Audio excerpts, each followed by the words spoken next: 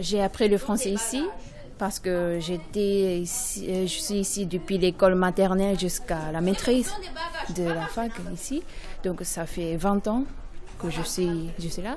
Je suis embauchée embauché ici comme euh, professeur de français à l'école primaire euh, du Lisbonne ici. Ici, tout le monde apprend le français d'abord et après l'anglais comme deuxième langue étrangère. Je ne sais pas pourquoi, mais j'ai aimé le français. Hum, je ne sais pas pourquoi moi-même, mais.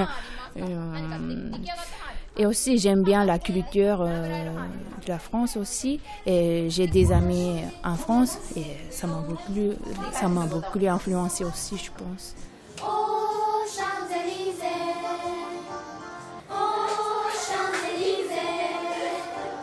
Il n'y a pas que l'anglais dans le monde. Je pense que ça, c'est important pour moi. Et cet été, j'ai visité le Maroc et j'ai parlé en français j'ai bien aimé parler avec des étrangers. Ouais, c'était très intéressant pour moi. Ouais. Et ils étaient très sympas et c'était une bonne expérience pour moi. À la semaine prochaine. À la semaine prochaine.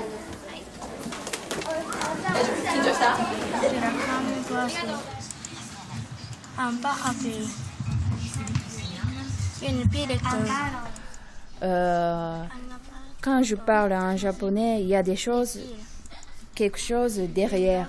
C'est la langue japonaise, c'est comme ça. Mais le français, c'est pas comme ça.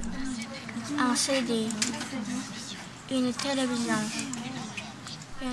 C'est une nuance et aussi ces manières de parler. Euh, si, hmm, parce que je parle en français, je traduis pas dans, ma tête euh, de, japonais en français.